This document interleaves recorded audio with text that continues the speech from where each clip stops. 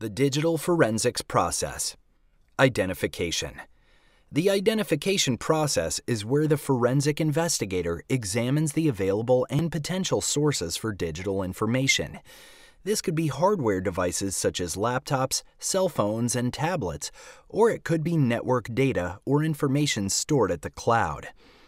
During the identification process, the investigator highlights these various sources of digital information, which will later drive the collection requirements later in the process.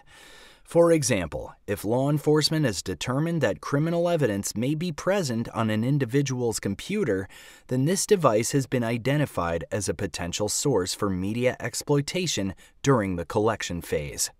After potential sources for digital information have been identified, the next step is to collect these items. During this phase, the investigator will follow the necessary protocols to lawfully acquire these items for examination. It is important that the items collected are procured in such a way that is consistent with the law. For example, in a law enforcement investigation, if the items collected are not done so in a lawful way, then the evidence found thereafter may be discarded in court. This is less important for military or business applications, but caution must still be used in these settings to guarantee the preservation of the digital evidence. For example, if certain digital artifacts are not collected properly, then the data found therein may be damaged or destroyed.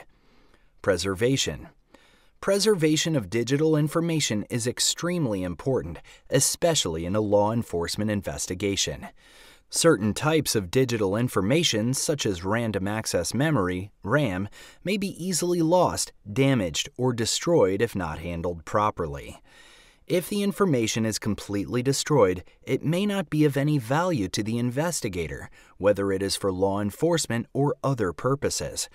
The forensics investigator must handle each item with different levels of care depending on how that information is stored. Hardware devices must be kept safe from physical damage such as water, heat, and chemicals, while image files and digital artifacts must be viewed with care as to not lead to corruption of the file. Examination the examination phase is where the digital forensics investigator prepares the data for later analysis. During this phase, the investigator will prepare the items, extract the necessary data, and identify what is needed for the next phase of analysis. During this phase, the investigator determines what data is relevant to the current project based on certain industry keywords, file types, and data types.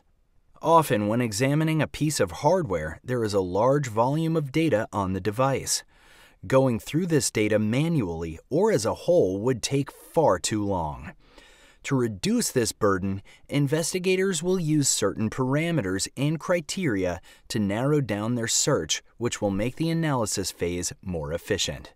Preparing the items for extraction is also done during this phase.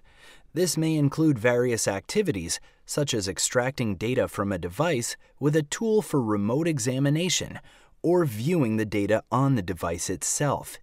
In some cases, it may be more advantageous to do either one, depending on the circumstances.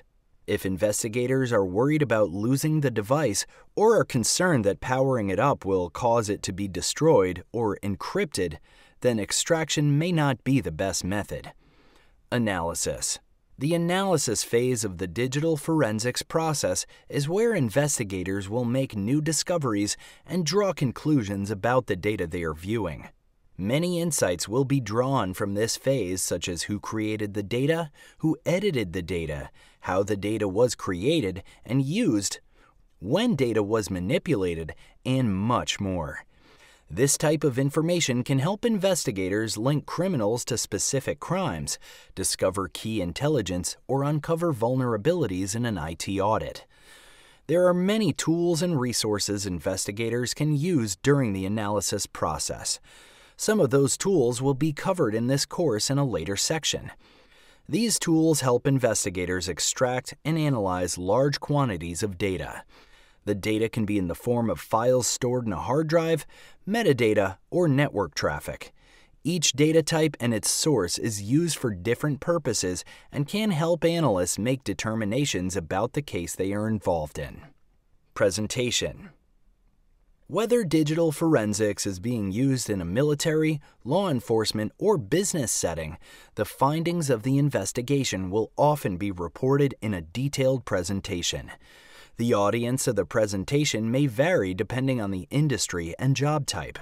For example, in a law enforcement investigation, the audience may be a judge and jury. In a military setting, the audience may be commanders and other decision makers. In a business setting, the audience may be a client or the Chief Information Security Officer, CISO. Depending on the audience, the presentation of the findings needs to be conveyed in a way that the audience in question can understand. The presentation should highlight key discoveries made throughout the investigation and should clearly demonstrate how the data found relates to the project. For example, packet captures from network analysis may indicate that a certain person outside of an organization accessed confidential files belonging to a business. This information needs to be conveyed in a way that the audience can understand. The presentation may also include remediation techniques such as software updates, role based access control, and modifications to computer code in order to further secure an organization. Depending on what type of investigation is being conducted, the presentation will take on many different forms. Always remember to tailor each presentation to your specific audience. Chain of Custody Chain of custody is the trail of documentation that links each piece of evidence to an aspect of the investigation. Chain of custody is a very important concept regarding digital forensics, especially in law enforcement investigations. Errors in chain of custody can cause evidence to be inadmissible in court if items are handled incorrectly.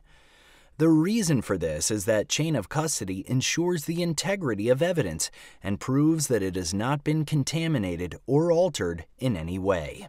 Digital evidence can be extremely volatile, which means that actions such as viewing a media file incorrectly could diminish its integrity.